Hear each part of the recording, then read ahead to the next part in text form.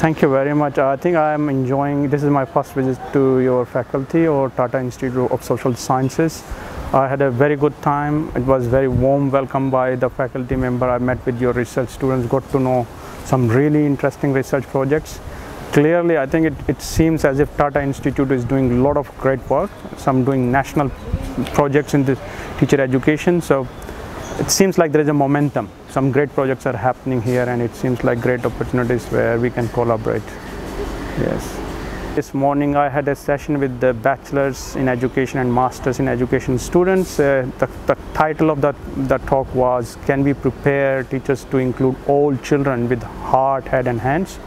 I think it's a, it's a really interesting topic because most of the time when we talk about inclusion, people think about children with special needs and that's not my intention was. My intention was inclusion means all children and it means that all children when you provide uh, start providing them education which is engaging meaningful all children will start enjoying. And i think i just said some people were saying how will we include a child with a special needs in our classroom? I said forget about that.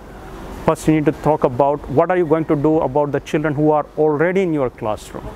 And so i talked about some strategy like building good relationship with students talking to parents also talking about inclusion is good for you as a teacher first and then for students. So those are the, some important ideas we talked about.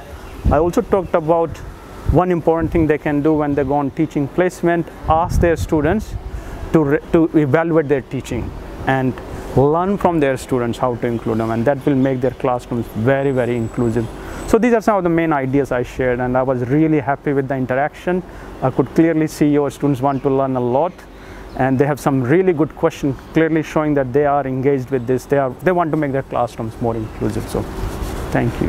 Monash University is one of the top universities in, in the world and our faculty of education is top rated in Australia. So it's number one faculty number one in terms of research and teaching and everything.